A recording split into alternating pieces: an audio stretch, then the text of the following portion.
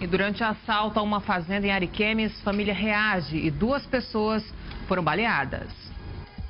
As imagens das câmeras de segurança da fazenda, localizada na RO 257 em Ariquemes, flagraram o um momento em que um homem invade a propriedade e anuncia o assalto. Ele revista a família e, em seguida, leva todos para outro ponto da residência.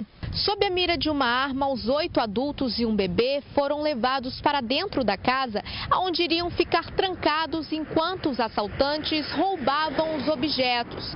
Mas as vítimas entraram em luta corporal com o bandido que tentou fugir. Nesta outra câmera, já do lado de fora da residência, é possível ver duas vítimas correndo atrás do assaltante, que reagiu e acertou um disparo na perna de um homem de 36 anos. Outro homem continua indo atrás do assaltante e também acaba sendo baleado nos dois braços.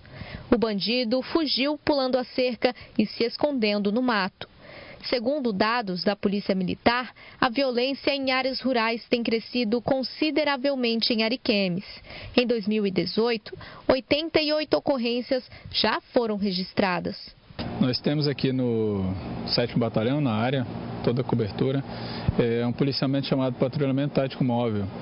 E esse efetivo mais efetivo de reforço, ele presta esse, essa segurança nas áreas rurais e em ocorrências mais graves. Então, exemplo, nós temos ali a ocorrência que teve na BR-364, que foi atendida pelo PATAM, é, pelo Patrulhamento Tático Móvel e, pelas, e pela guarnição de reforço. Os dois homens foram levados para o hospital, mas não correm risco de morte. Já o assaltante não foi recapturado.